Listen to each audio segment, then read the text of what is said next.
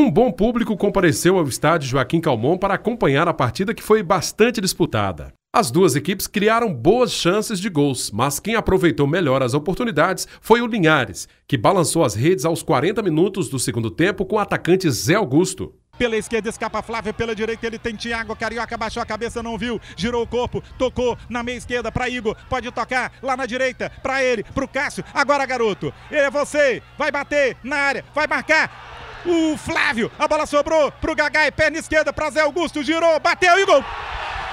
Gol!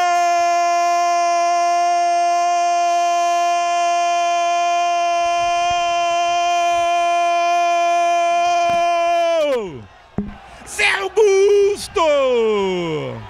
Camisa número 9! Com o resultado, Linhares garantiu antecipadamente a vaga na próxima fase do Campeonato Capixaba 2016. Um alívio para o atacante Zé Augusto, que vinha sendo bastante cobrado pela falta de gols. Tenho sido criticado, sim, porque sou centroavante e, a, e as bolas não têm entrado.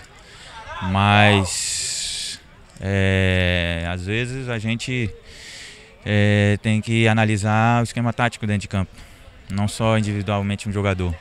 Como eu falei, eu tenho feito o que o professor pede, segurar a zaga deles lá.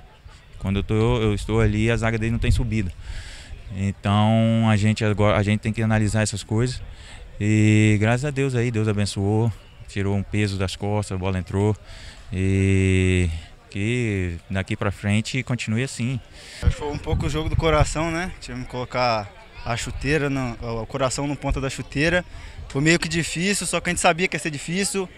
O time deles tinha que vencer também para brigar para a classificação, mas graças a Deus aí foi um abençoado com o gol do Zé. Para o técnico Robertinho Calmon, mesmo com fortes emoções, a vitória foi muito importante porque garante vaga na próxima fase. É, jogo de emoção, jogo complicado. A gente realmente no primeiro tempo podia, podíamos ter matado o adversário com quatro ou cinco ocasiões claras de gol, não fizemos. O, o, o goleiro dele, do, do, do adversário, teve num dia muito bom.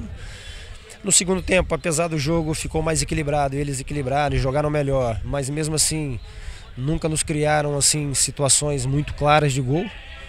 E a gente continuou controlando o jogo e tendo mesmo assim outras oportunidades para marcar e o goleiro deles realmente estava hoje num grande dia. E o gol aconteceu naturalmente, foi, fomos justos vencedores, a equipe jogou melhor. Portanto, eu estou muito feliz com essa, com essa classificação.